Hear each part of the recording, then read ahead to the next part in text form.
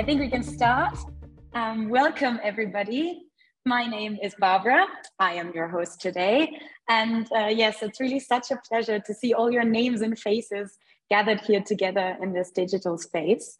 It is my pleasure to welcome our speakers for today. We have Véronique Paradis, Gwendal Creuret, Don Hansen, Ugo Pecorayo, and Tanya Schumacher with Jacqueline Seliger and their collaboratory team. Thank you so much for joining this webinar and bringing your projects to the table. And another big thank you directly goes to the Beyond Matter project team, led by Livia Nolasco Rojas and Felix Koberstein, uh, for gathering us today. You guys are really the reason why we are here, so thank you very much. Um, it's a bit of an emotional day at the ZKM today, so um, let me start with a quote us museums can be the better Netflix. I will always remember how Peter Weibel said this back in May 2020 during the first lockdown um, on the set of the live streaming festival of Critical Zones. And he was walking around the many cameras and Zoom monitors in the middle of the empty exhibition space of the ZKM. So it's really in this spirit and in his memory that this webinar series wants to tackle what matters for virtual museums. The goal of this three part series is to foster an exchange between museum professionals concerned with creating virtual museum experiences. The idea is to really get into the nitty gritty details, the hands on aspects of presenting digital content, both in physical and virtual exhibition spaces. So the webinar series aims at discussing technical aspects, creative means, required competencies and skills for museum staff, but also visions and inspirations in resonance with current ways of online engagement. Today, especially, we will zoom in on virtual museum platforms that have developed specific strategies of online education. The projects we will discuss today all have a special focus on the social, experimenting with different modes of participation, co-presence, and user experience. Our plan for the next three hours is to first gain a general overview of the four invited projects by sitting back and relaxing while our dear speakers walk us through their concepts and platforms. And then after a very quick break, we will split up into breakout sessions and dive in deeper into one of the projects and discuss some of its crucial parameters. At the end, we will all come back together again and share some of our key takeaway and insights. Right. And with this being said, I am happy to pass the mic to Livia, Livia Nolasco Rojas, uh, who's the project manager of Beyond Matter and who will introduce the Beyond Matter project for us. And uh, honestly, I cannot stress enough how valuable the work of Beyond Matter as a fundamental research into virtual museum practices has been. So congrats on all of your endeavors, Livia and the entire team. And um, yeah, the floor is yours. Yeah, thank you so much, Barbara, for this uh, beautiful introduction and uh, and also for hosting uh, our webinar series. Uh, the webinar series takes place uh, in the framework of the mentioned uh, Beyond Matter project that is a long-term um, collaboration project um, started in 2019, right before the pandemic um, and lasts until July this year. Um, in the project, there has been um, different institutions for all from all over Europe uh, who have been uh, working together on uh, different aspects of uh, uh, something what we phrased as the virtual condition, um, a condition uh, that is surrounding us, being museum professionals and artists and curators and mediators of art. Um, and uh, it uh, um, influences uh, the way uh, we are uh, dealing with and uh, also um, curating, creating and mediating content. Um, from the beginning on, uh, the Beyond Matter project uh, described this uh, as a virtual or rather uh, hybrid uh, experience uh, since working and and meeting art is not just happening within the four walls or many walls of an art institution, but museum experience already starts before and and after entering entering the physical building uh, of the museum or it doesn't even include that.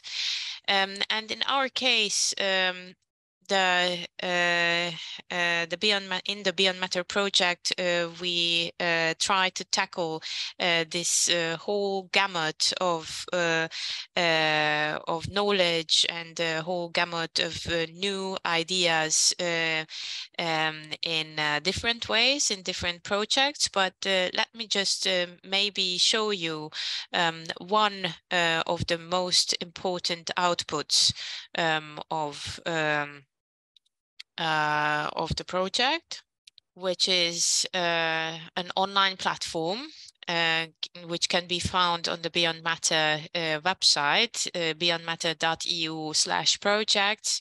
And uh, in here, uh, you can find uh, different online exhibitions that were produced throughout the Beyond Matter project.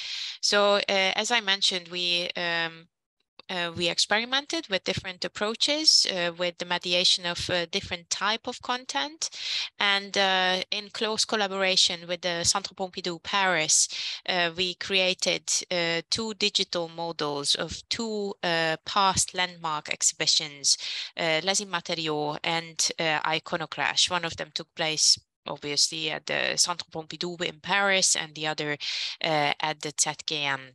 Now they are accessible uh, online, these exhibition models uh, that are not reenactments, they are not digital twins, but rather digital interpretations or models of these past shows also uh, curated uh, exhibitions uh, that were hybrid from the beginning on um, are part of this platform. So here, um, you can visit uh, Spatial Affairs, a digital twin, which is a photogrammetric um, documentation of a curated uh, exhibition that took place in 2021 at the Ludwig Muse Museum Budapest, and uh, Spatial Affairs Worlding, uh, a térviláglása, uh, another uh, exhibition which is actually born digital and includes only um, net artworks from different Uh, epochs and eras of uh, net art from uh,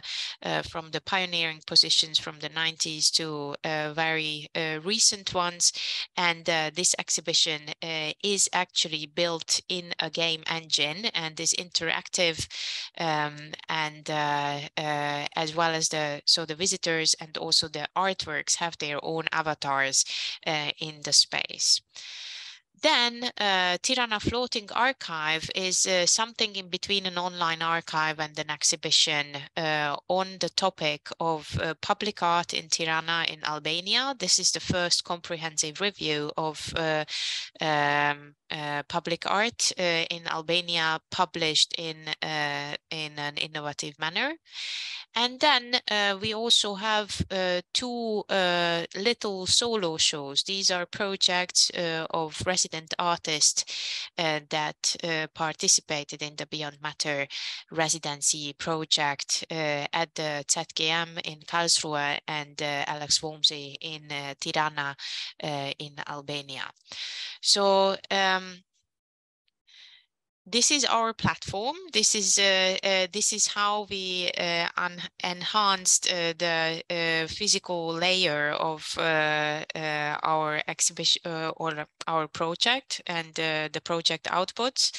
And as you can see, the um, um, the ways um, different exhibitions can be enhanced or represented online um, uh, varies and uh, uh, different techniques has been elaborated throughout the research between the partners, which was the point and the objective of our project. And I'm very happy to uh, welcome you all today, uh, also from my side, a big welcome, um, because uh, uh it's um, great to learn about um, other approaches uh, that are uh, similar, but probably on many points very different from our approach. So um, thank you very much. I uh, I hope I'm still in time and I didn't. Uh, Beautiful, go... Livia, on point. Yes. Okay. thank Perfect. you so much. Perfect. I even uh, just a quick question, Livia. I'm not sure, but you still uh, host a few online guided tours through some of the projects because you did a whole series of curated guided tours through spatial affairs, for example. Yes. Yes, okay, and uh, so... guided tours throughout the uh, the entire platform are uh, uh, uh still happening, and uh, my colleagues who are also here are guiding um, in English and in German um, the visitors through our entire platform. Perfect. Thank you for the quick advertisement. Sorry, we have a block, as we would say in German. Um, but so if ever you want to participate or um, have another look, then um, just go on the ZKM website and there's a, the calendar with the guided tours. Right. So thanks, Livia, again for introducing Thank Beyond you. Matter and uh, kind of establishing the framework of uh, why we're gathering today. Um, and with this, I think we can proceed or start with the first project presentation, um, where we will have a look at the satellite WebXR platform of the Société des Arts Technologiques or the Society for Arts and Technology in Montreal, Canada. And here to present are Véronique Paradis, who is Director of Innovation and Training, and Gwendal Cruret, who is a motion designer and the Director of the Satellite WebXR platform.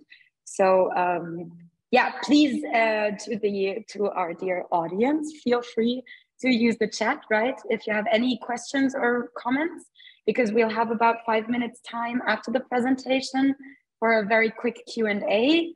And we will also take the questions that maybe, you know, are not answered or not mentioned um, into the breakout sessions for the second half. So don't hesitate. Any thoughts are welcome. Okay, with this, Véronique Gwendal, allez-y.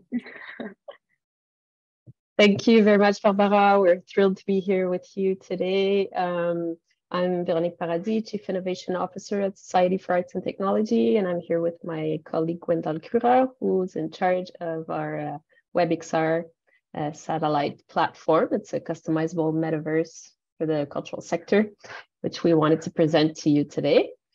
Um, to start off, we'd like to talk a little bit about uh, the SAT, so just to present what we do at SAT. So the, the SAT is um, an institution. It's based in Montreal. It's been uh, merging uh, science, arts, and technology for over 25 years. It's really a place of convergence and exchange for researchers, artists, and uh, producers. So the SAT is uh, a venue it hosts about 100 events a year in its famous uh, immersive dome on the roof, it, which is called the Satosphere, and also in its uh, multifunctional spaces. Um, the site is also an artist center, so we uh, accompany over 50 artists every year into the creation and the dissemination of uh, immersive works. Um, the, the SAT also uh, has a uh, status of a public research center in Quebec. So the team, the innovation team has uh, researchers and developers who work on various uh, telepresence and collective immersion technological solutions for uh, under an open source model. Uh, so we hybridize expertise to, to push boundaries of artistic possibilities of immersion. And uh, the SAT is also a training center. It caters uh, to digital artists who want advice, tra uh, advanced training in software for immersion, but also to more traditional artists who want to uh, integrate digital arts uh, or digital into their artistic practice. And we also have a program for the youth to initiate them to the digital art. So um, I'm I'd like to show you the demo reel of the SAT. It's just about a, a one minute video, which is followed by the demo reel of satellite. And then Gwendal will take it, uh, will take over to present uh, more in detail the platform.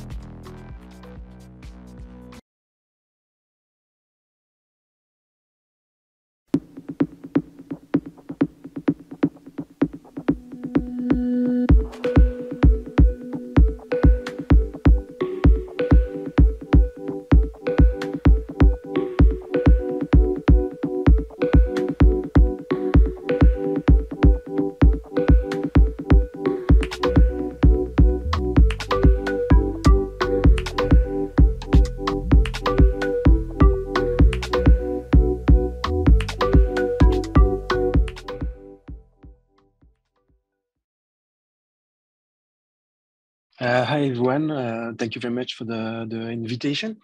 So um, like uh, Véronique says, um, Satellite is a um, customizable uh, web immersive uh, platform dedicated to the um, cultural sector um, set up during the, the pandemic. Um, we have set up this platform uh, following the work of the research department in order to explore new form of diffusion around collective immersion so Satellite is based on uh, Mozilla Hubs. Uh, Mozilla Hubs is an um, open uh, source solution uh, which brings together a large community uh, of developers and uh, creators. So, um, for example, you have XR Hub Bavaria, who which use the same technology. Um, this ecosystem allows creators to use free softwares like Blender the platform is accessible uh, online, so uh, you don't uh, need to download anything, uh, and you uh, you can you can just use like a VR headset, a computer, or a, a phone. So, what is the um, the experience? So the experience is first uh, it's a, a, social experience. so, for example, you just have here like it's we we have avatar with with webcam um, it's also um, um, experience um, is uh, sorry is immersive. So you have uh, spatialized audio, and uh, you can integrate various of content of um, of various content like 360 images, videos, 3D model, and it's also customizable. So you can, uh, as you uh, you will see on the next project, uh, we have developed developed uh, features for uh, the cultural uh, organization and artists, such as adding interactivity or broadcast full dome videos. So um, maybe just I'm, I'm, going to talk about uh, PAC uh, Pointe-à-Callière project, but maybe before let's watch the, the video. so I don't know if it's possible. Okay, good. Thank you so much.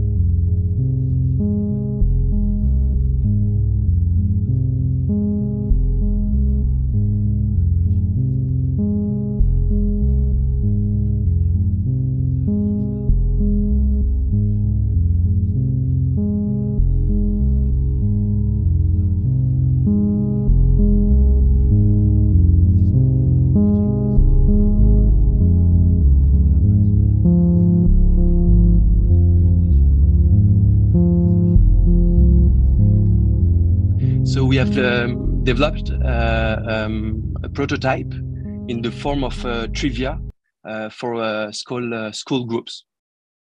So the project offers uh, innovative and um, promising uh, possibilities for education, cultural mediation, and uh, heritage diffusion. Um, there are, of course, some limitation, like the number of people you, you can have per room and per experience and uh, the quality, uh, the number of polygon you use per, uh, per room. But for example, you can embody a historical character. You can visit different spaces, different place as a, a, representation of the, the museum space, for example. You can discover uh, different content, uh, like I say, uh, audio, video, and uh, you are able to show 3D uh, artifacts. Um, and um, you can socialize uh, with a guide or with the, the public.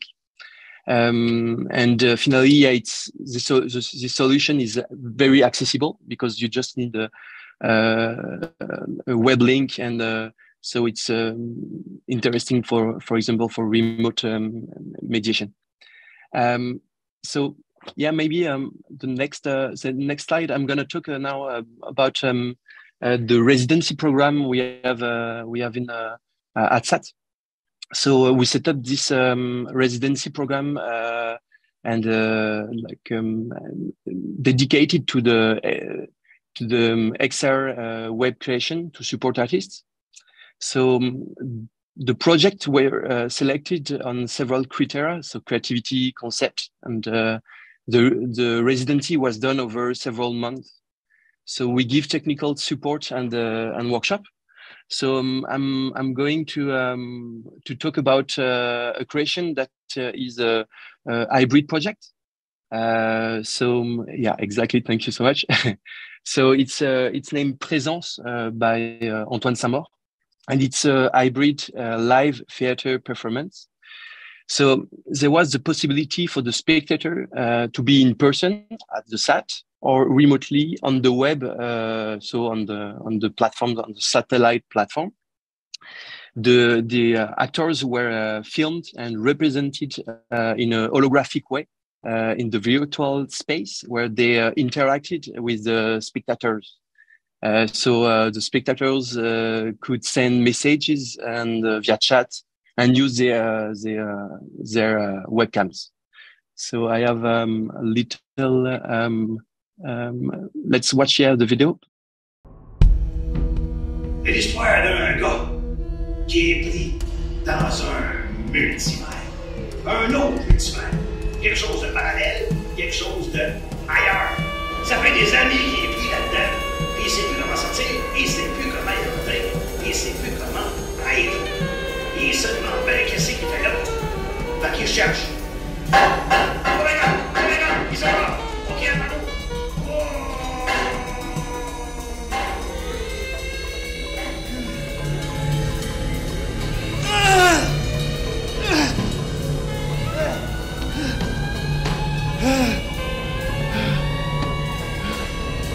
Hey! Hey, we all! To tell our man I fight! les cubes, les salles monochromes, du vide à perte de vue.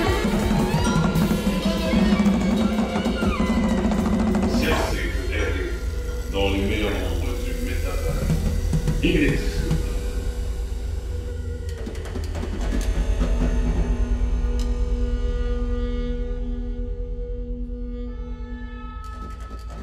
If you want to uh, to know more about uh, like different projects, uh, you can visit directly the satellite.satqc.ca. And Véronique. Yes, thank you. The the research at SAT has led us to rethink the the cultural and the educational events from a hybrid perspective.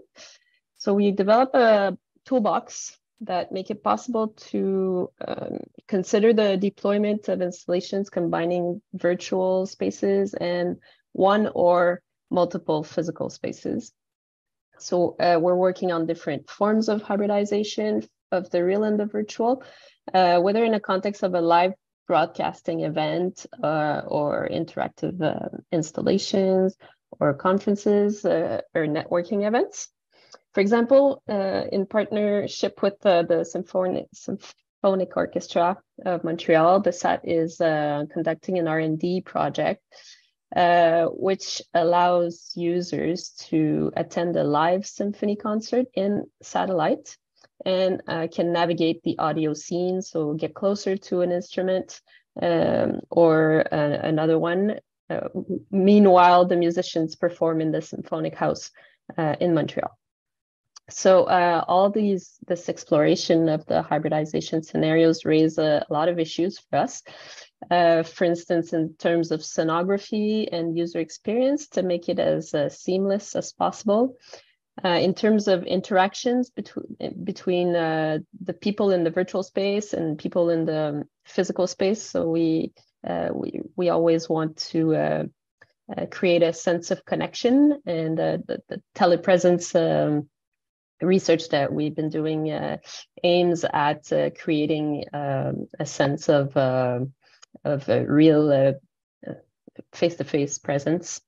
Um, and another um, another issue that we're facing is the representations of uh, individuals. So not everyone wants to be represented as an avatar or uh, want to be represented uh, with a webcam. So uh, we're we're doing research on uh, this uh, this kind of um, issue as well. So we're we're hoping to find some collaborations here with people who've been uh, working on these kinds of issues and uh, to co-construct an understanding of a hybrid uh, space together and um, share best practices. So thank you everyone for uh, listening today. And um, Barbara, I think I'll uh, pass it back to you. Thank you. Thank you, Veronique, and thank you, Gwendal. Super interesting projects. Um, may I just very quickly jump in with a question because of the hybridization of the real and the virtual space. I'm just wondering, are you focusing mainly on the real space um, within the SAT? Or do you also think about, for example, uh, viewers who may be accessing the hybrid experiences from home?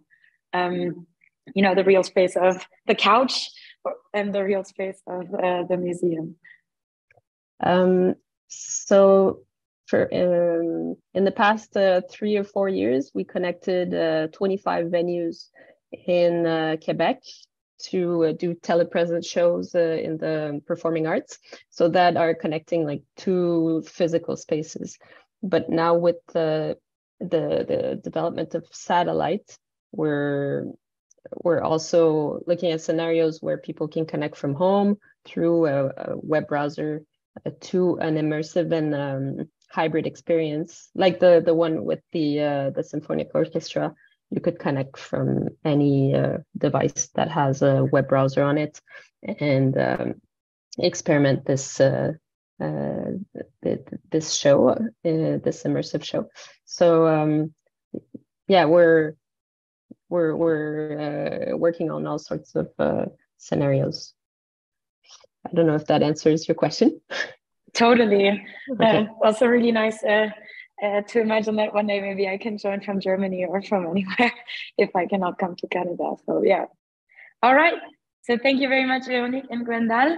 Um, we can let's move on to our second presentation for today, which uh, is going to have a look at the virtual exhibition toolkit of the New Art City. And I'm really happy to introduce Don Hansen aka don.xyz, which I think is a really cool acronym. don't, don't know how you would say it, Don. I can Thank only you. ever read it. yeah. Um, yeah. Yeah. How do you how, how would you say it? I pronounce it Don XYZ. Don XYZ. Okay. And in that sense, I'm very quickly going to read the bio that you have on your website. Um, it's very well formulated. So Don XYZ is a designer, electronic musician, and internet artist, building experimental websites, tools, and electronic artifacts connected to the World Wide Web. And he is the founder of virtual art space New Art City. With that, dear Don, floor is yours. Great, thank you. Um, I've got a slide deck presentation to share with you all. So I'm going to quickly share my screen and get started with that. Here we are. Um, so hi, yeah, my name is Don Hanson. I'm based in New York City and I'm a designer, an internet artist, and a web developer. And as Barbara mentioned, online I'm known as Don XYZ. Um, and that's my domain name. I kind of chose that pseudonym because it gives me some foot traffic to my website where you can see all my work. Um, so I started New Art City in 2020 while I was living in California, um, researching internet art and how to contribute to the global community of internet artists and how to uplift digital art to the production standards and the exhibition standards of fine art and how to bring more value to the digital art world. And while I was researching this, um, 2020 happened, and then there was like a immediate, immediate and urgent need for virtual space to show exhibitions and sh- show things online. So my research path kind of coincided with the needs of the world, and New Art City kind of developed out of this very quick prototype of like how do we how do we make like digital art show up in a 3D space, and it was just kind of this kind of uploader tool at first, and then people started getting interested. I was affiliated with a university San Jose State, and they immediately sort of picked it up for their students to use. And it kind of grew from there, and established a team. And now it's three years later, and I'm talking about it. Um, so yeah, it's a virtual multiplayer art gallery for desktop and mobile browsers. Specifically, multiplayer is one of the most important features. That's one of the very first things we developed because we wanted to feel like you're in a space with other people um, when you couldn't go to a physical gallery, like we wanted to have that social multi multi-user co-presence feel for everybody. And it's a desktop and mobile browser experience. This is not a download. This is not an application. This is something you can do on your phone or on your computer. And it's a toolkit for building and hosting virtual art exhibitions. So it's not just a gallery. We are building the tools that allow artists and individuals and organizations to create the exhibitions, and then we host them for them. And it's a global digital art community.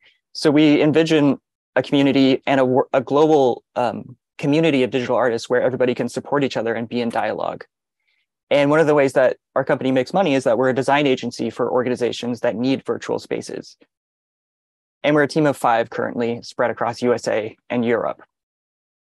So New Art City allows artists to create spaces like this one, which is a bit more photorealistic, like they've got walls, they've got things on walls, or completely non-realistic spaces where things are floating and there's giant shapes and objects.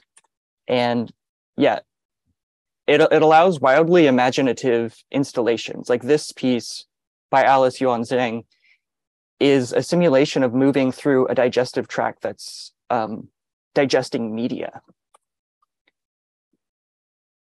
So the kind of way that you install work on New Art City is incredibly simplified compared to other 3D tools. You upload stuff, it appears in 3D, and then you put it where you want it to go. And there's only three tools, move, scale, and rotate for the 3D manipulation.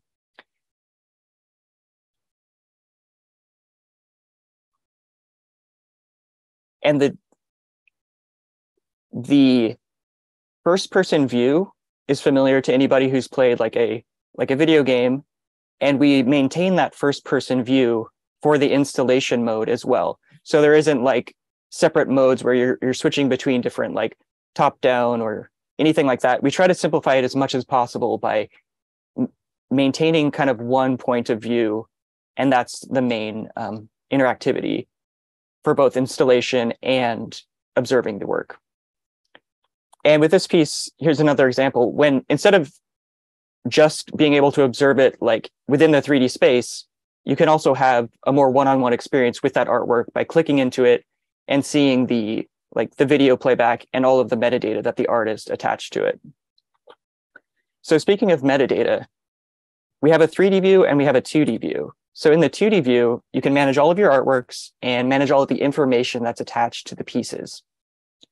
So every artwork has all of the metadata you'd expect, title, artist name, description, all that kind of stuff that artists actually need. And that's one of our kind of driving principles is that we're not just making a virtual metaverse space that's general purpose. This is actually meant to solve problems for artists.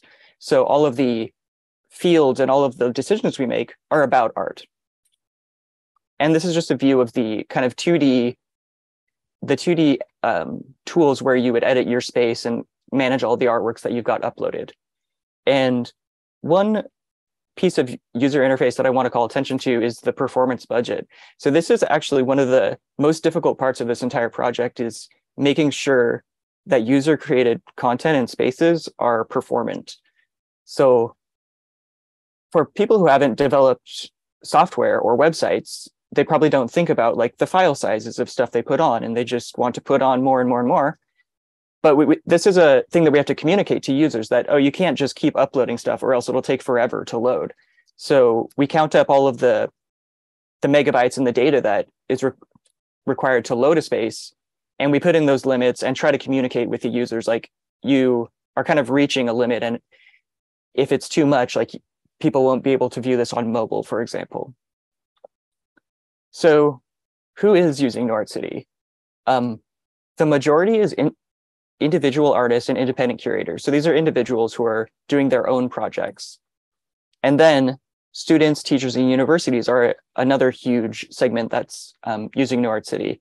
This is really good for media art programs because it was developed while I was in school at San Jose State University. And the very first set of beta testers was all students. And it really works well for like the the model of a curator working with many artists maps directly onto like a teacher working with many students. And we also work with uh, cultural organizations and institutions. So this includes both organizations that sign up and build their own space and organizations that we work with through partnerships.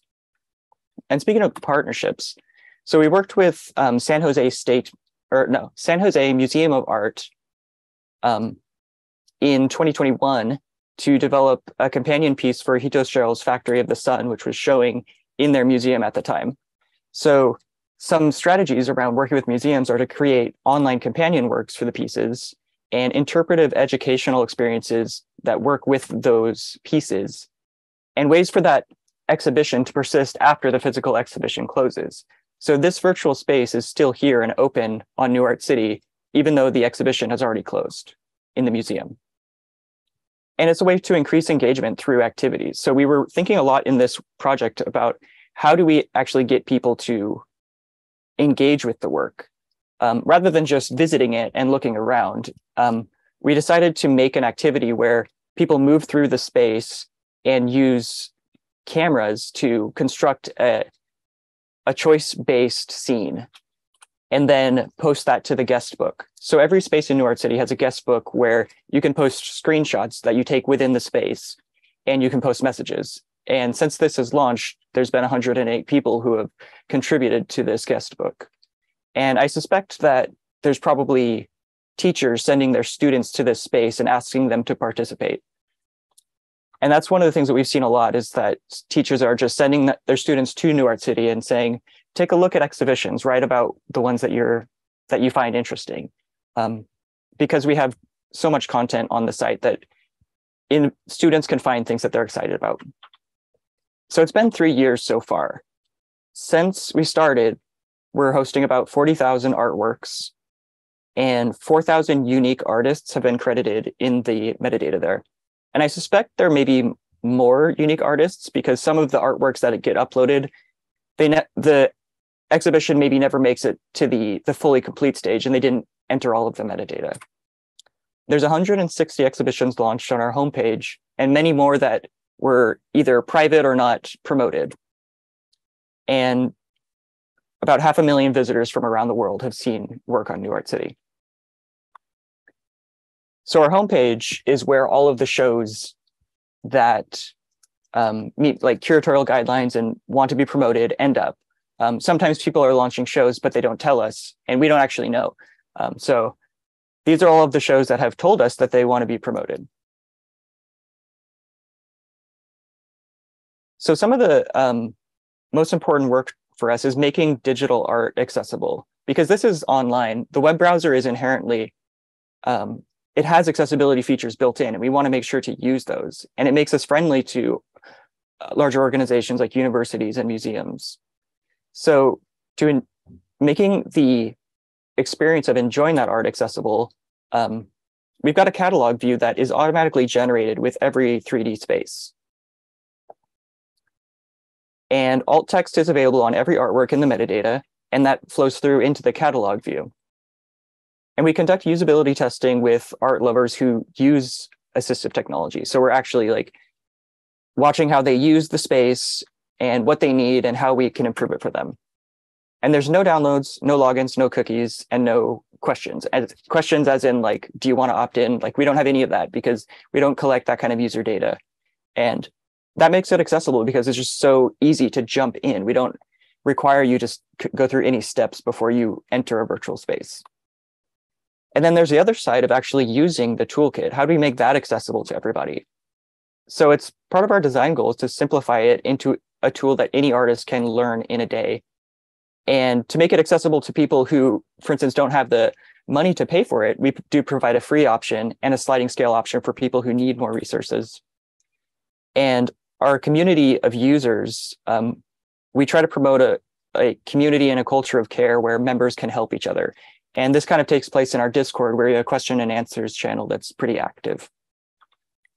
And I think probably most importantly, we actually established an accessibility panel of experts who help us make these decisions. And they're like kind of onboard consultants that we keep um, adjacent to our team. This is a view of the catalog. So this is automatically generated from the 3D exhibition that the artist builds.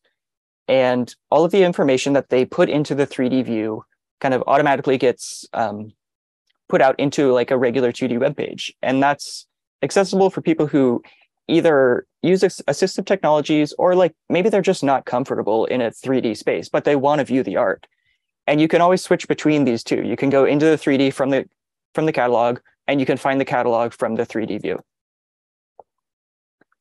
And then another big component is how do we preserve the work? Because as we've probably seen so many times, platforms do disappear. New Art City is a platform, and we don't want to tie our success as a company to your success as an artist or an organization.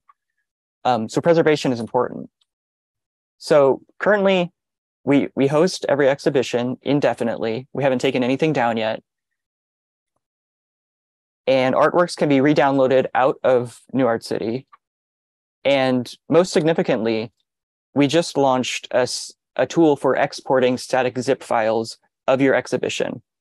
Um, I'm really proud to say that this actually launched today. We are very excited that artists who are supporting members can now take their entire 3D exhibition and export it from New Art City for it to be safe for long-term preservation. Soon, we're also going to increase the resolution limits and make a storage space for the lossless and archival files and let you generate the display copies that are actually um, sent over, over the bandwidth wire. So the exports look like this. This is a zip file and it pops out with all of the stuff in order to render a static website. So this, this allows the artist to have a kind of a, a web page or like the what amounts to like a fully functioning website that's offline that they can re-upload to any like a server that they control or like put it in their backups or something and it looks exactly like the 3d space that we're hosting so it works exactly the same except because it's disconnected from our website there's no multiplayer so you can't see anybody else there's no chat there's no live streaming and there's no editing tools. This is like a snapshot. So you can't like re-edit your space, but you can edit metadata via um, the HTML if you really needed to. So this is a local file. And this means that, like I just mentioned, like there, the artist's work can live beyond the success of New Art City as a platform. And this is suitable for re-uploading, self-hosting the work, running as an offline ex installation, which we've seen a few times, um, for if like the exhibition space doesn't have good internet or like you don't want to rely on the internet, um, the exhibition space can run a local web server and just run this as a very stable version of the space. And it can be preserved long term. And I haven't seen this yet, but I suspect that it's it will be possible for these zip files to be acquired and owned and traded or whatever people want to do with their their work that they've created. Um, so just to kind of recap with New Art City, we want to create a world where digital artists thrive and exist within a global community. And we're dedicated to solving problems for digital artists and promoting a welcoming, accessible, and inclusive art world. And we do this by designing tools, establishing systems of care, curating community festivals. Um, our third Art City Festival is coming up at the end of this month. And by partnering with high affinity organizations and institutions who share our vision. And that is it. Um, thank you. That is it. Done. Wow, a amazing project. Uh, my mind is blown. You've really covered so many aspects of exhibition making and translated them into, you know, virtual and digital space. It's insane.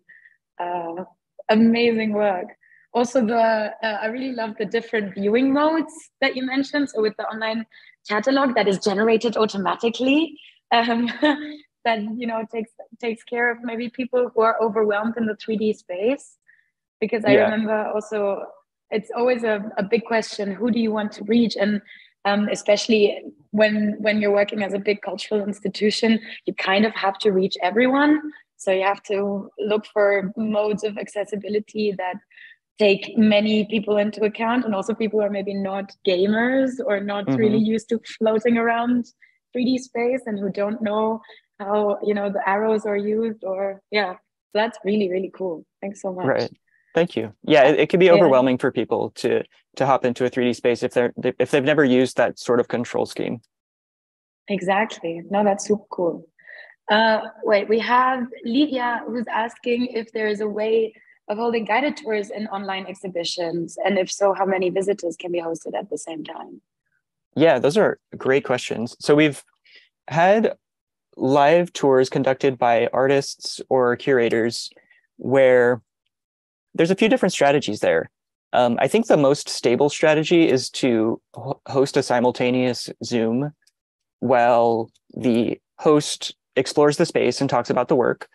Um, live streams are possible in New Art City. Those have been used mainly for performances and sometimes artist talks, but it's that's more of like a broadcast model and less of a conversation. One of the things that we're promoting with the New Art City Festival this year is to include walkthroughs from every artist or curator who's participating. So each show that's going to launch with the New Art City Festival at the end of this month has a video walkthrough where the creator of the space is talking about that space. Um, and this is in an effort to make things more accessible because these these walkthroughs with um, speaking about the work will go on the cat or on the catalog view, and it will help to orient people to what they're seeing. And just having the artist talk about the work that's always just such a valuable experience. Um, what was the second part of that question? Um, if you do uh, host online guided tours or moments online where people can join, how many visitors can be hosted at the same time? Yeah, yeah, the visitor numbers. Um, so in New Art City, we don't really use avatars. We use little diamonds. So they're extremely low resolution. It's just like three polygons, like four polygons. So that allows us to have tons and tons of users at the same time because avatars slow things down. It's like people will want their avatars to be so customized and complex, but if you don't play that game, you can have tons of people. So we've had exhibitions with over 400 people at the same time who can all see each other and chat. And it's been sometimes that gets crazy, but it can be really fun. Yeah, super nice. Uh, one thing I'm wondering about also is the project you shared I think it was the San Jose Museum, the online companion to the Hito Steyerl exhibition. Um, because what struck me there, it reminded me a bit of um, the satellite space presentation where we are speaking about hybrid modes or modes of hybridity. So um, that was, if I understood it correctly, an online companion. But did you have online companion to a physical exhibition? Did mm-hmm. you have any like moments where both of these exhibition aspects, the physical and the online one, kind of intersected? Yeah, we did.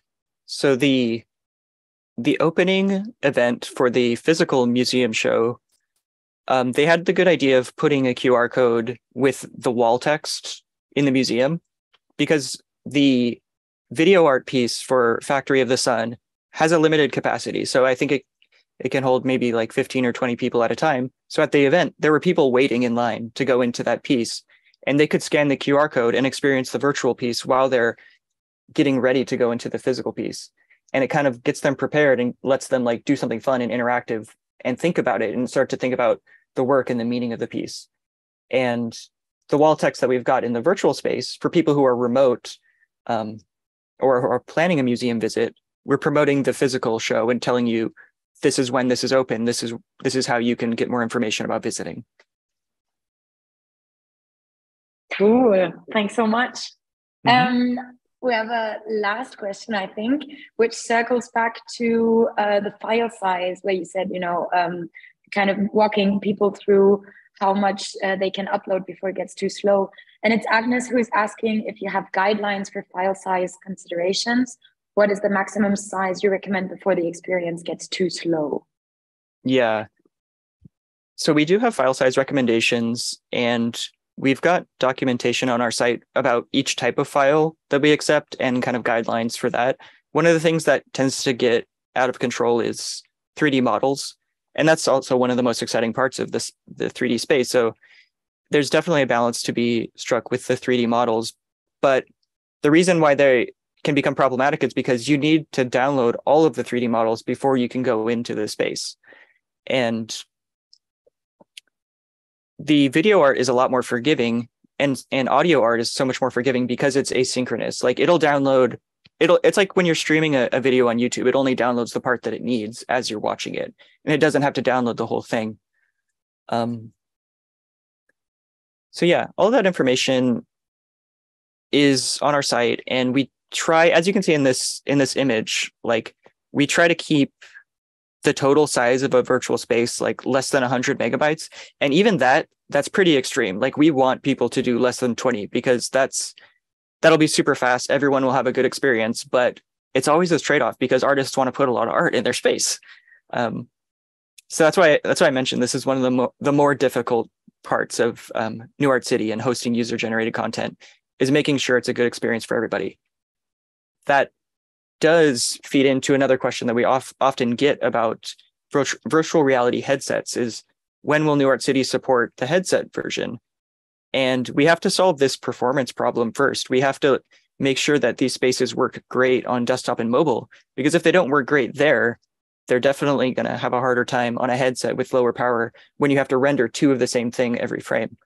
So, yeah, performance um, challenges and performance improvements will eventually lead to to more virtual reality options for New Art City. Cool. Thank you so much. Mind's blown. Um, Thanks. And we'll just uh, continue on that streak with our third project for today. Um, it's the new digital exhibition in social space of the HEK House of Electronic Arts in Basel, um, to be presented by Ugo Pecoraio, who is head of communications at HEK. Hello, Ugo. Nice. Hi, everyone. and um, I think interesting side note. I believe that the virtual HEK is the youngest or newest platform that we're looking at today because you launched in September 2022, right? Yes, um, yeah. that's correct. So I think I think you are the the youngest project uh, today. so belated congrats on your launch, and um, yeah, floor is yours. Thank you so much, and thank you for having me. Um, I'm Ugo, and uh, Andy, you could play the video already.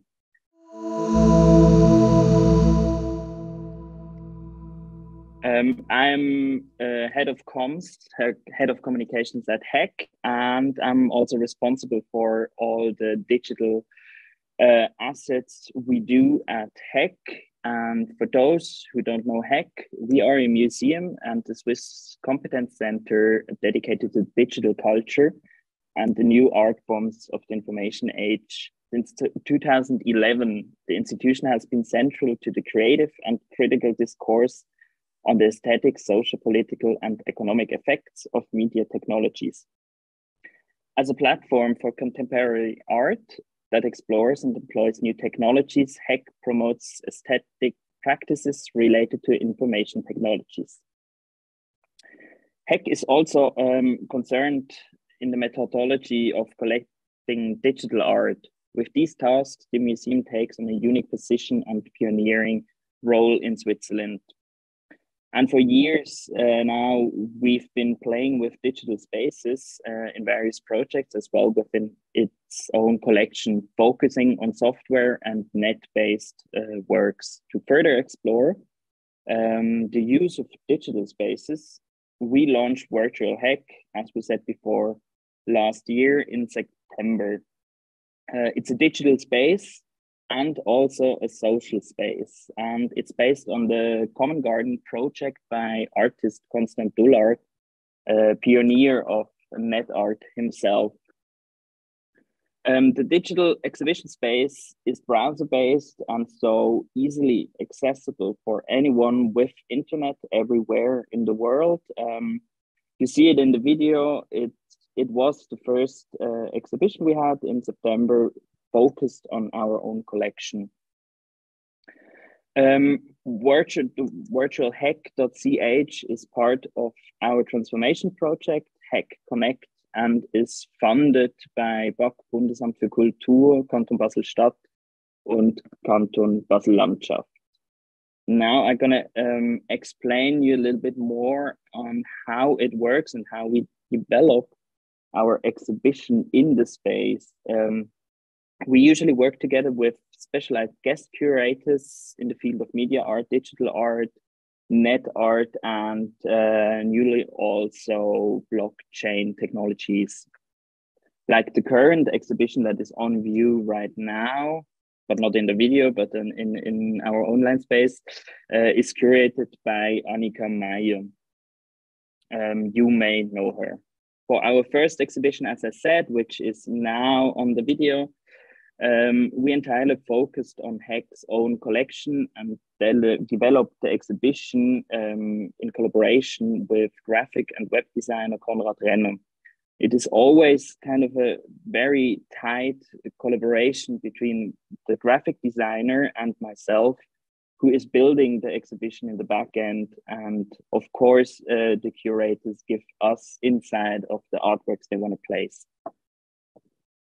Um, since our exhibition space is not a three-dimensional space. We focus on the background graphics and the implementations to create an environment that speaks for the whole exhibition. So before uh, we place the artworks, we create a, back, a background which matches the theme of the exhibition and the exhibition space itself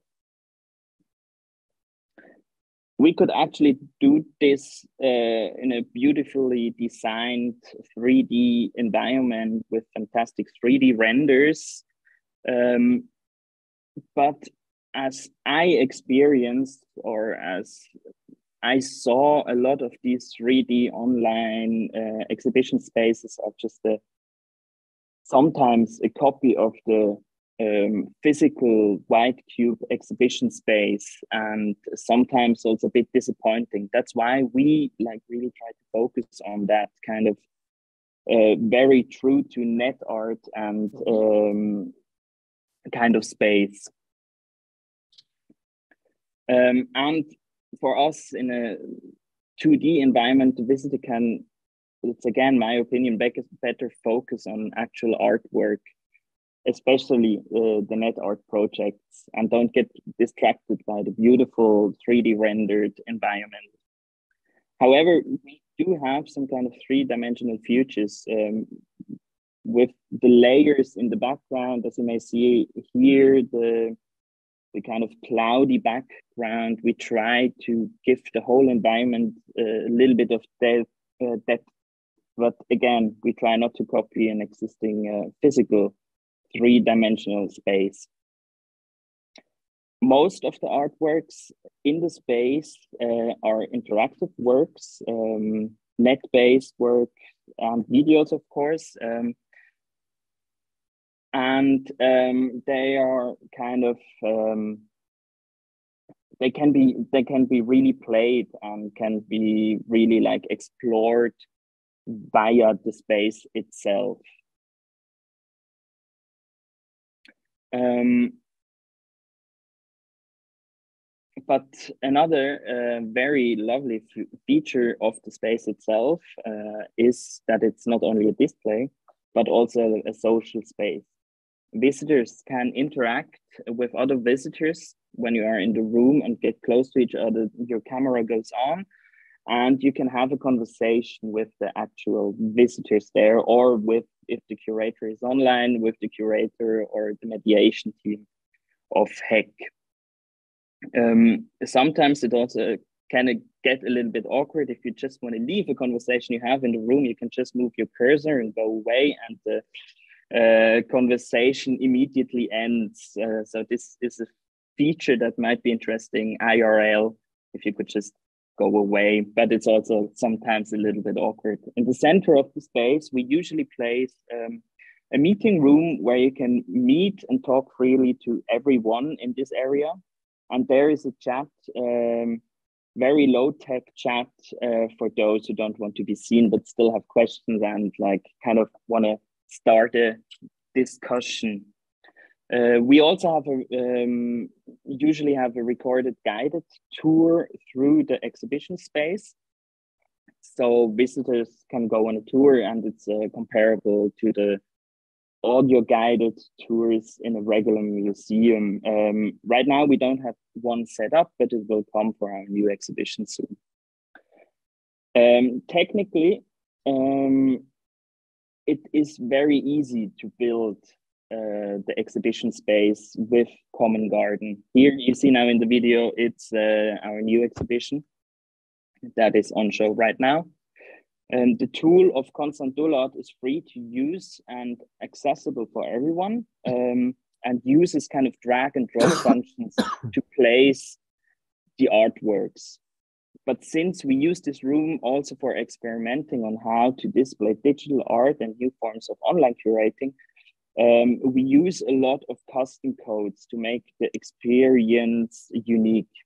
Usually it takes me um, because i'm always built these rooms two or three days to set up a whole um, exhibition. Comparable to our irl exhibitions in our exhibition space we need like two weeks so it's very easy and handy to really set up a cool exhibition space um, there is like uh, technical issues sometimes, especially with all the net-based uh, projects we need to implement and with um, um, with virtual machines.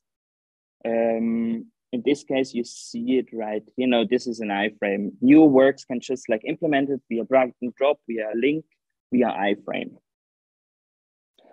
Um, in the near future, we will not only use the space for our own exhibition, but we'll use it for uh, curatorial experiments. As I mentioned before, Virtual HEK is part of our transformation project. Um, and in this project, we are experimenting with uh, Web3 and blockchain technology. And our goal is to create a decentralized autonomous organization, a DAO. And one part of the DAO will be to uh, be programming virtual HEC.ch within the community. So members uh, of our DAO can decide on artworks displayed in a swarm curated exhibition and therefore be part of a curatorial collective within an institution. I hope um, you have now a rough idea on what Virtual HEK is and how we do exhibitions with this amazing tool. Um, I think we still have time and uh, I would invite you to come with me to virtualhek.ch. I can post the link in it and uh, in, in the chat and share my screen for those who don't want to go there directly. Um, and then we can quickly explore Virtual HEK and I can show you around. So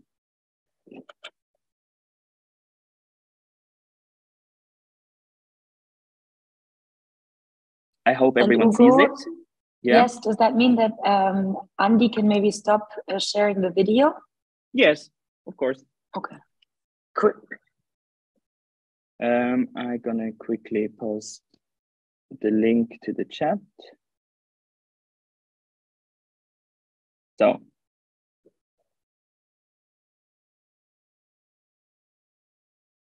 As you see, um, all users start at the same point. Um, I didn't connect the audio because there are some videos that play very loud, but you can always like change the volume. Uh, we have always a little uh, little introduction on what it's going on, how to use, because we think it's very crucial for the visitors to really get into that, how to use the space and how to navigate. Um, and actually, you can just like go around and explore. There is no fixed direction of the of uh, the exhibition. It's a very open space. It's a, what also like 2D is beautiful of it. You can just like explore everything and don't have to walk in the right direction. Nothing is wrong or right. Um, this is a beautiful work of Übermorgen, for example. Um, it is interactive, as I said. A lot of works are interactive, so it's very gameable. Um, I hope everybody knows Übermorgen, Net Art Pioneers, and they just do fantastic artworks, which are sometimes also annoying, like this one. But this is the point of it. Uh, you have to click through and click. That's why click is done. We also play with new technology. As I said, this is uh, Jonas Lund's race condition. It's a very new work. It's a NFT um, a playable NFT. Um, we managed to also implement that very easily into space. I was surprised that it worked so seamless and uh, you can play it. Here we have some other NFTs um, from Alexander Growers. Um, and a good thing about the space is you can link uh, to the original file because these are not original files, these are just links. You click on it and you go actually to the original NFT. And if it's available, you can also buy it if you want. But I think this one is not available. we go back. Um, yeah, we have uh, we have a project by Sarah Friend. Um, it's really like we can play around with like different artists on actually a very small space, but every artwork has its own little space and you can click it, you can play with it. So it makes the kind of the all environment a little bit playable. Here, I don't know if it works. If I'm, oh yeah, now you see me double. In the meeting point, um, we can talk to each other if it doesn't give feedback no it works hopefully people should pop up and could speak with each other but uh, we had some technical issues in the past um, so the maximal capacity of the room is 200 people. And if you stream uh, at the same time it's mostly um, it crashes sometimes. And here's the chat. And yes, it works just smoothly. Yeah, if you have questions, I think that's all from me for now.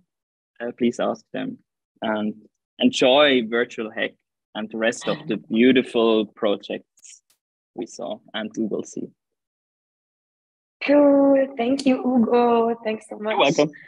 Also, this little field trip onto Virtual HEK. Um, there's one question by Isabel um, is the website showing one exhibition at a time, or can you see several exhibitions simultaneously? Unfortunately, we have just one exhibition space right now, but we will do in the future, we will do more links so that we can have a more exhibition at the same time. But we we actually use virtualhek.ch. It's our dedicated exhibition space, and we online exhibition space and we use it like a regular exhibition space. So when we close the exhibition, uh, we are kind of in a, trans- a transition phase. So we have an end date of the exhibition that we really can restart like a regular IRL exhibition because because yeah, Constant Dullaart um, said to us or explained to us that it's also good in a digital space to uh, or in a digital exhibition that you have like a start date and an end date, and it's not always online because people are getting bored of it. And um, so we we use one link but in the future we will have more exhibition that we can like do on the same time. Yeah. Um, felix is asking if common garden is an open source software or if you made a contract with Constant Dullaart um, you can use as a regular person you can use um, common garden uh, for projects um, for free, but we have a contract with um, with Constant because we use different features. That is, um, I think he wants kind of like a subscription mode for institutions to also get funding for the project because the project is not uh, it, it's privately funded by Constant himself. So we are like also like helping him to work with that tool.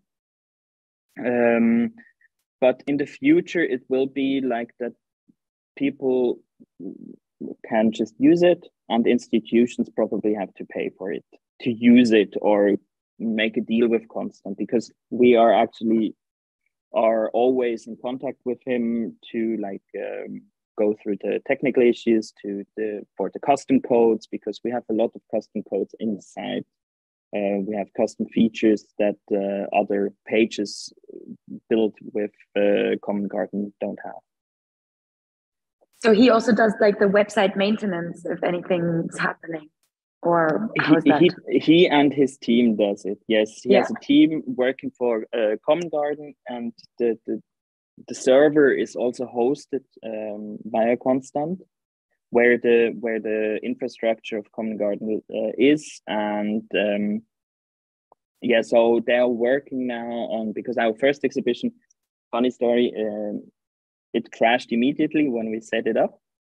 Uh, we had a lot of uh, artist talk planned, uh, also with Constant, and uh, it crashed like the whole evening. But it was still a success. Um, um, but it wasn't for us a little bit disappointing uh, because we worked so hard to have an online exhibition space like this and then it crashed but now it's on a new server and now it works actually very fine. We had some some issues at the vernissage from for um, the current exhibition but it was nothing in comparison to the first Hey, and I guess that's just part of being pioneers, right? You just you just try stuff out that nobody has tried out before, and then th- that's what happens with technology, I guess. yeah So, I, I yeah. see it the same way. It's it's new technology, is a new tool, and we are very happy to play with it, and we will continue it in the future and try new things out with with that amazing tool.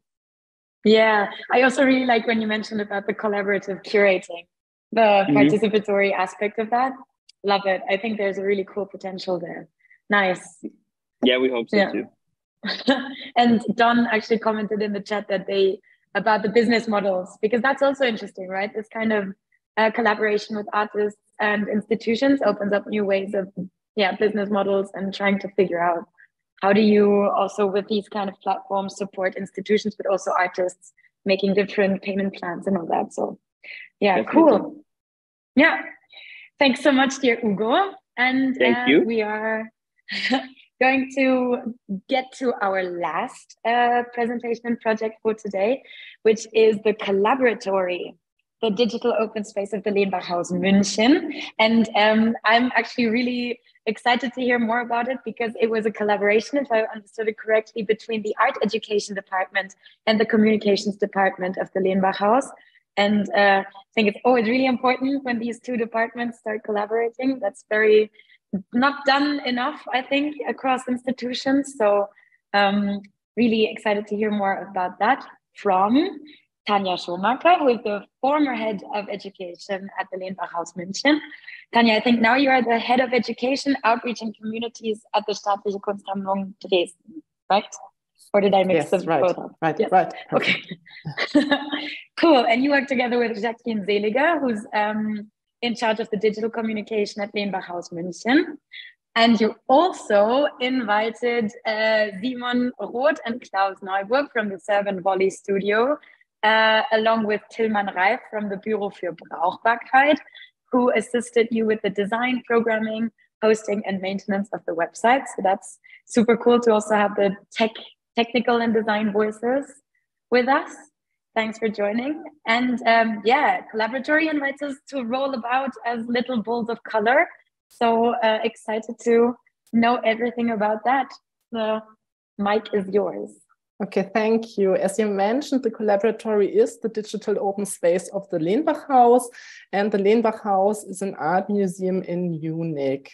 Um, the, the collaboratory was developed as part of the German Federal Cultural Foundation's dive in program for digital interactions with funding support from the federal government commissioner for culture and media bkm pro program neustart kultur dive in was set up to support the development of digital formats during the pandemic. And I mention all these things because I think this is quite important also um, to have in mind how a regular art museum maybe gets the chance to sneak into digital media.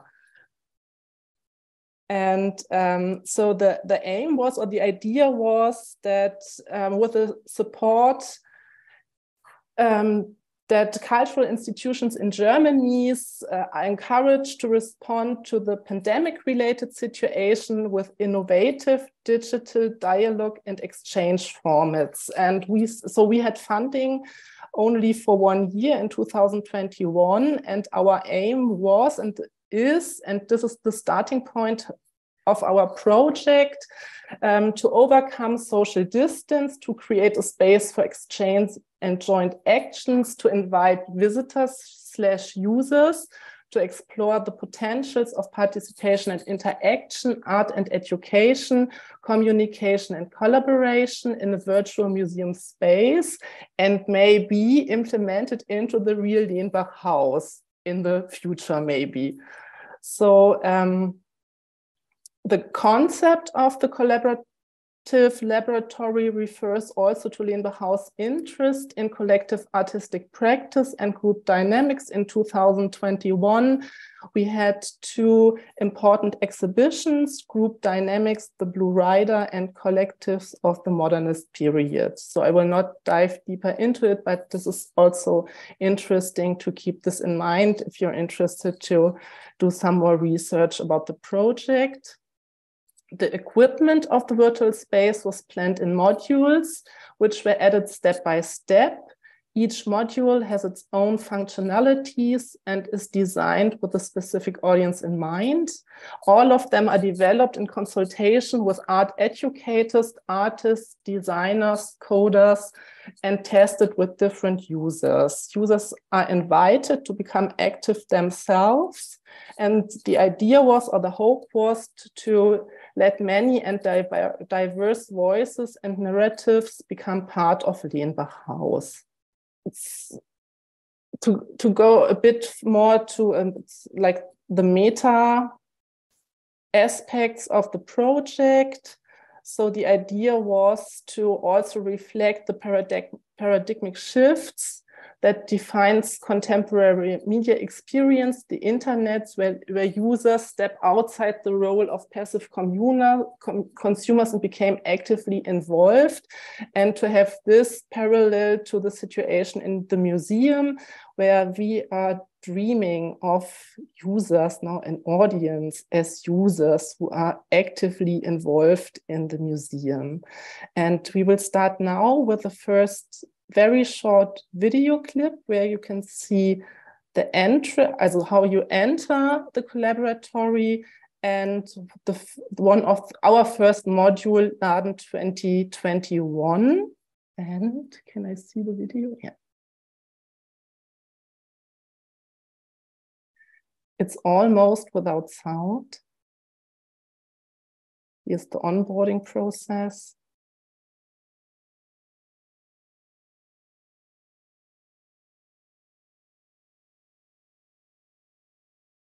You can see the open space. And this is Laden 2021. It refers to an artwork slash shop um, by Hans-Peter Feldmann, an installation called Laden 1975 to 2015, which is part of Lenbach House collection. And the smiley is actually an object in the shop. Oh, oh, stop. Yeah, it stopped. So the smiley is an object in the shop. And um, we developed a participatory project for users where they could upload their own funny, weird, interesting, beloved, hated, useful, useless, everyday objects, contributing to a collective portrait of contemporary society. The second, I think it was our second module, I'm not 100% sure anymore, is the open stage. And please, the second video.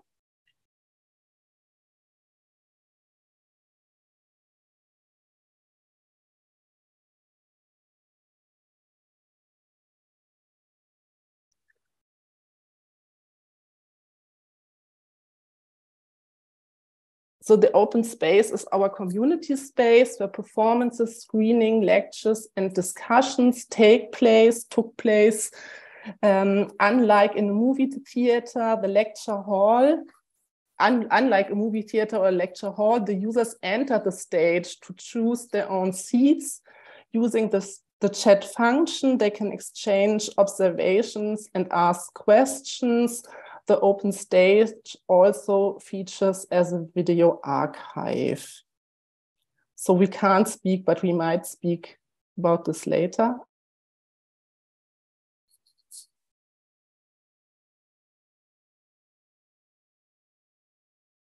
So we are navigating through the space.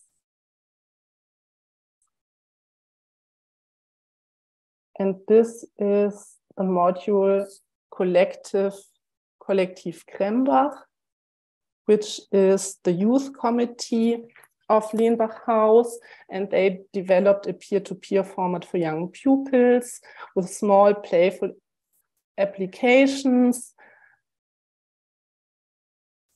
that reflect how to interact with each other in everyday life, online and offline.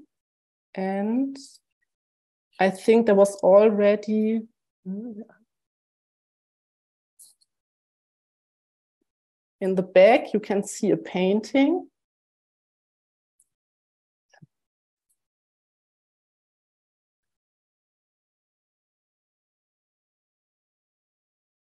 Okay, so this is the light interaction, which is just a little gamification element, but it also refers to artworks in the collection, like Dan Flavin working with light. And before there was another little gamification element, um, soundscapes. And if you're inside the collaboratory, you can hear the sound of the soundscapes, but we can't hear it now. And the other module you could see in the back was um, reframing, which refers to a painting by August Macke and is a text adventure, text-based game. But we don't, uh, we won't go into this because this is really complicated. But you can, uh, if you are able to speak German, so it's in German because it's funded by a German cultural foundation and um, we only had a year to develop the project, and it was too difficult and maybe also too too expensive to have two versions in German and in English, but we really had to do it in German. And I will now hand over to Jacqueline to speak a bit more about the education department in collaboration with the communication department. Thank you, Tanja. Uh, hello, everyone, from me. Um, as Barbara mentioned before, this was the first project uh, we did in combination with the art education department and the communication department. I can't stress this enough because I think for institutions it's very important to collaborate inside. It, we always tend to uh, get focused on expertise from the outside, but we have them on the inside often. Um, and the combination is most interesting, I think, to, to do both.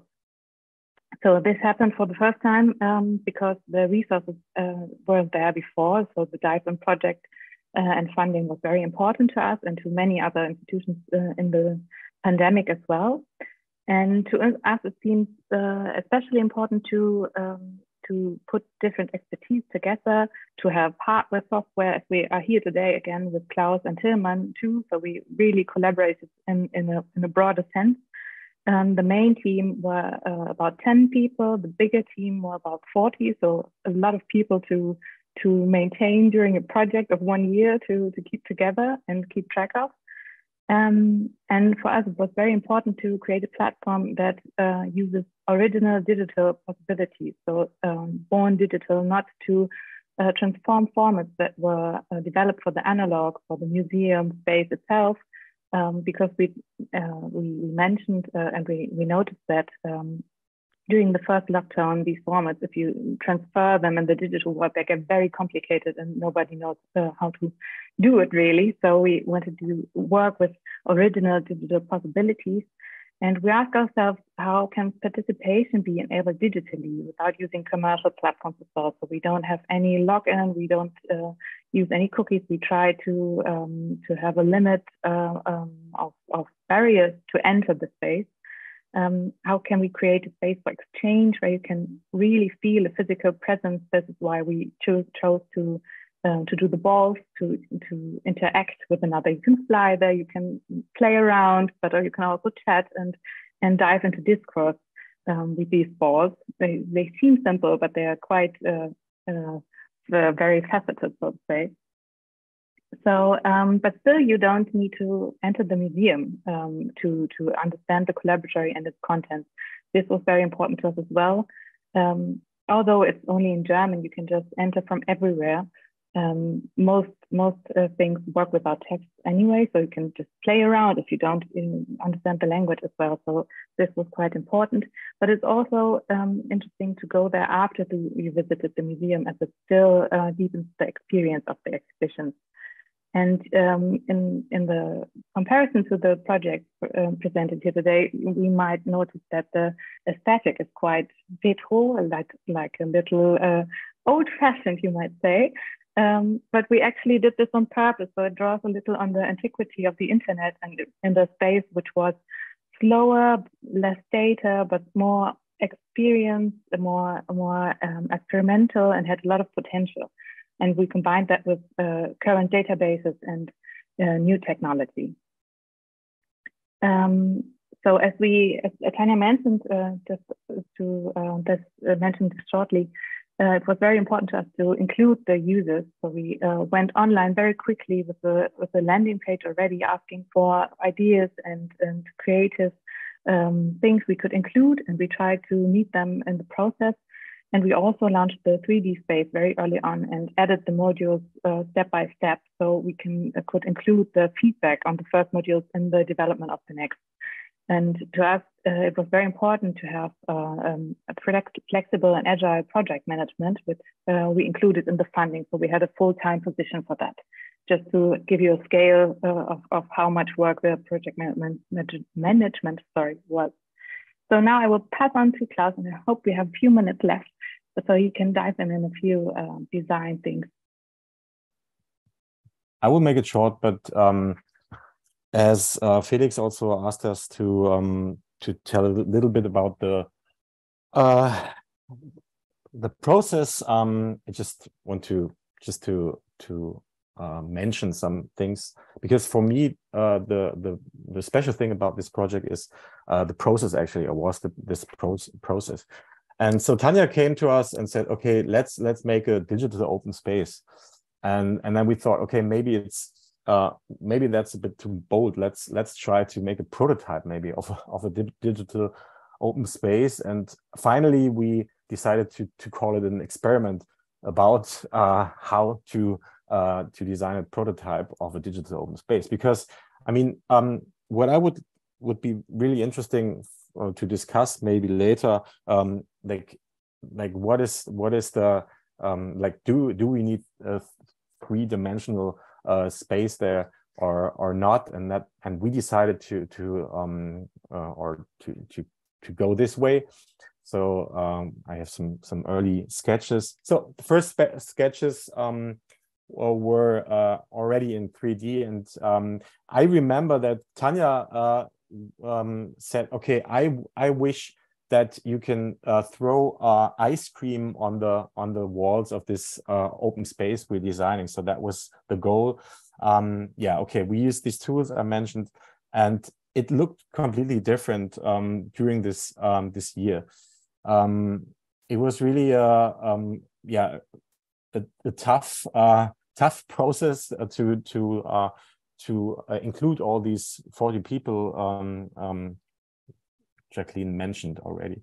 This is the zine module, and you can uh, you can uh, make um, magazines in there. That, that that's a module we um, designed with uh, Tim Rodenbröker, And this actually for me like to is um, like to design tools um, are this is for me is actually a part of uh, the reclaiming of the digital space actually and um, of course uh, just try to to uh, reclaim this digital space uh, a little bit more. So, okay, uh, I think the important thing maybe uh, Tilman is still there and maybe wants to share some thoughts. Yeah, thank you, Klaus. Um, yeah, as our role at Büro für Brauchbarkeit was more on the sort of UX and technical part of the uh, of the project, I would want to want to share my screen and we originally we we decided not to do a live demo, but I think it's it's working quite well, and a couple of you guys are already in there. Can you see my screen? Am I sharing? Beautifully, all good. Okay, so yeah, because we also wanted to have like this collaborative space and also the feeling of presence in the digital space but we deliberately decided against the first person view which you normally see in in, in virtual spaces or oftentimes because we felt it was it's like too uh, strenuous for, for many people and it's also hard to navigate and we wanted to have something more intuitive and and playful. So we developed this yeah this more of a isometric perspective and you can roll around with your ball, you can jump. And there's also like a physics simulation in, in the background. So when you touch the other balls, they, you will move them away and you can jump on top of obstacles. So there's real collision detection in there. And it also allowed us to create stuff like, uh, yeah, like this interactive installation where you, the color of your ball will, re will be reflected on the uh, on these cubes and also allowed us to yeah to build this um, sound installation where when you when you roll next to the objects a sound will be triggered. So we really wanted to, this to be like a playful a gamey kind of an environment that's easy to navigate and to explore without having yeah to learn all these commands that you usually have to do to navigate a, a first person view. And uh, we did this let me share a little technical architecture view of this of this space. Of course, we have the front end. This is what you see. And then we have a CMS in the background where all the content is being stored and also people can contribute stuff into the collaboratory. And this is also stored in the CMS. And there's an email being sent out to the educational department that's going to uh, see if this content is appropriate. And then it's being uh, freigegeben. I'm missing the the English word. I'm sorry. Approved. approved. Yeah, right. Thanks, Klaus. And and then it's once it's approved, it's going to be uh, visible in the collaboratory as well. For example, and then we also have this kind of multi-user server that is uh, generating or, or keeping track of all the people that are online, and it's also managing the whole physics that are uh, that are uh, that are needed in order to have this collision detection and all the other stuff that's going on while people are inside the space. And to do this, we also used a lot of technologies, as Klaus and, and Tanja already mentioned. It was an experiment, even also in the sense of what can be technically achieved in the browser nowadays. And also, we do not require plugins, we do not require cookies or anything. We wanted this to be as accessible as possible. And yeah, this is just a short overview of what's in there. So the front end is made with Vue. It's an uh, application framework that allows us to build this nice interface and stuff. It's communicating via the CMS, uh, with the CMS via an API. And then we have this 3D engine, the Three.js, also on top of that, another layer, it's called Enable 3D, that's working with the backend where we have the physics simulation running on, on the browser. And then we are using Paper.js for vector drawings in one of the Krembach module. And Matter.js, it's another physics engine that's used in the swing that we are having in the Krembach model. You can check it out. And then the, the, the DigDesign from Tim Rodenbröker, it's using processing in the JavaScript version for this fancy interface where you can design um, the, your own magazine.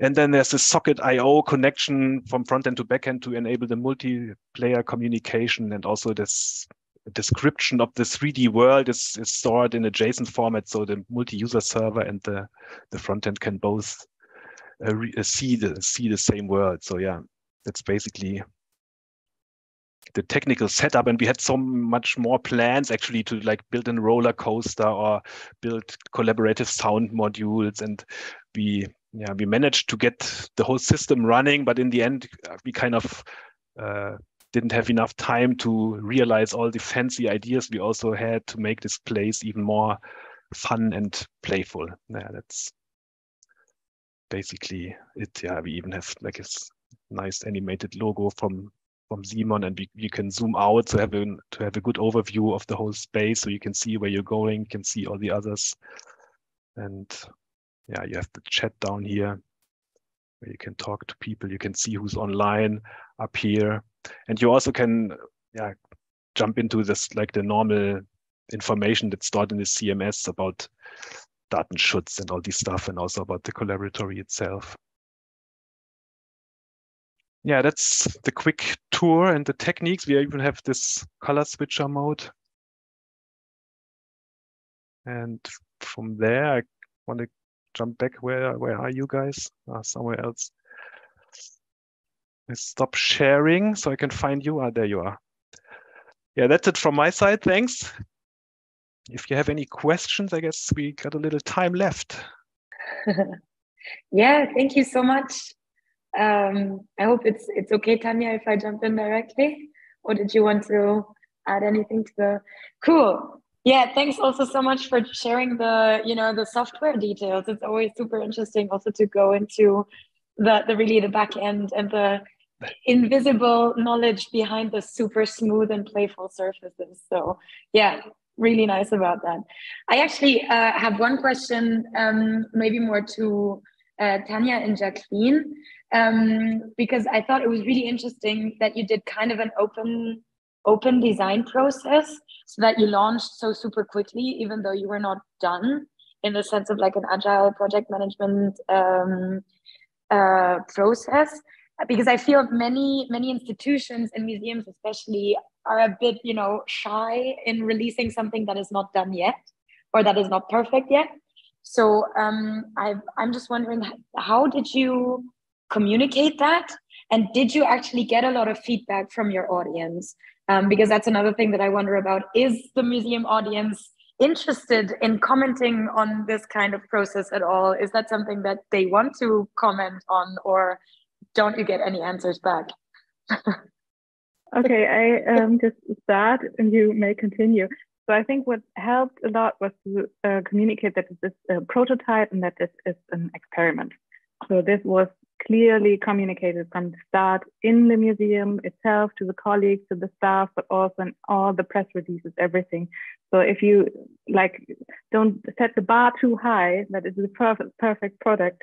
Um, you can like start early on, and um, I think the landing page we started, uh, we launched before the, the 3D room was was was the game changer, like to to open it up already in the beginning.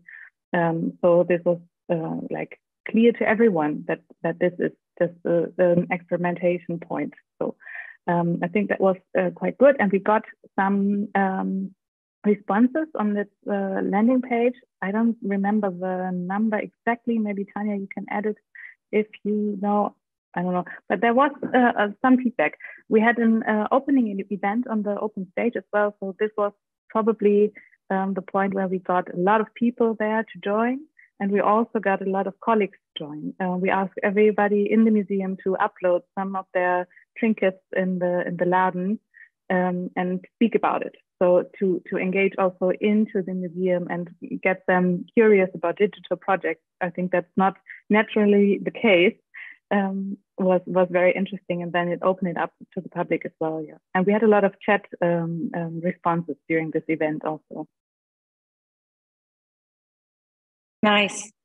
Um, Tanja, in case you don't want to add anything, I, I, maybe I, to be honest, yeah. I maybe I honest some. Uh, nine, I add, I add something very honestly. I think digital projects in a regular art museum, which has not a focus on digital art, really leads lot of mediation within the museum and also for the audience. yeah that's kind of also why but even even if even in digital museums um uh, sometimes yeah it might need i don't know a workshop or something where you kind of invite the participants and guide them through uh, a process of commenting maybe. But still i think it's really really nice and interesting that you that you went there and, and did it. Cool yeah we also um, did this. yeah. we also did this but this is one maybe one of the things we had to realize that it really as it's like to have a new museum and you really have to you, to put lots of efforts in communication and um, community management. Yeah.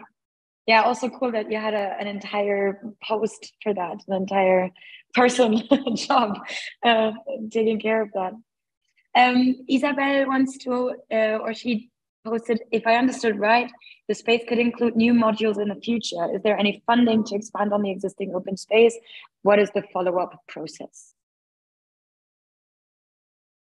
Shall I answer, Tanja, and you, you do it?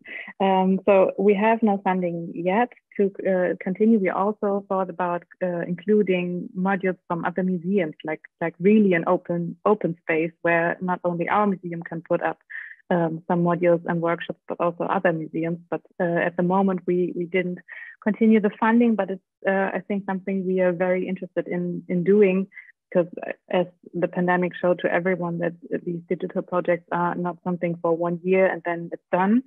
Um, but you have to continue and maintain them and, and keep continue to develop them to the new needs that that occur during the time. But we also you have to say that the position of this full person was connected to the funding. So if you don't have this full person working on it, it's hard to like it falls back on the positions that are already in the museum to maintain another additional platform or um, and that is very time consuming and something that needs to really dive into the structure of the museum and how the, the work and, and projects are contributed during the between the departments. Yeah, and maybe to add, it was really a lot of work, even with the project manager. Um, Jacqueline and I, we really had to put this on top of our regular work we do in our positions, and we kind of were a bit exhausted after a year. and we really needed a kind of a break. And um, yeah, currently Jacqueline is not working, and I moved to another museum. But this makes it even more interesting to think about using the space for different museums. All right. I I hope you found enough rest though. Thanks so much. Thanks for sharing. Okay, uh, we are so good in time, everyone. I'm really happy about this, uh, which means that we can totally take uh, kind of a even bit of a longer break. And um, yeah, I'll explain about the next, the second half of the project of the website uh, webinar when we're back in seven minutes. All right, see you then.